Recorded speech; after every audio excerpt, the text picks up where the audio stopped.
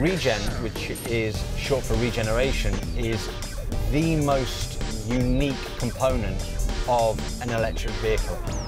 During any given Formula E race, I'm able to recuperate around about 30% of, of energy through our lifting and regeneration techniques.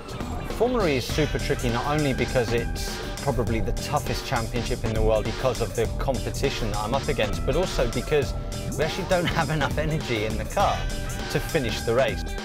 All the teams and all the drivers come up with solutions to get around that, and they're normally a case of energy saving all the time throughout the race.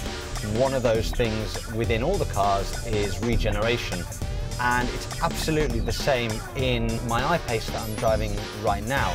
It's so nice and quiet and smooth.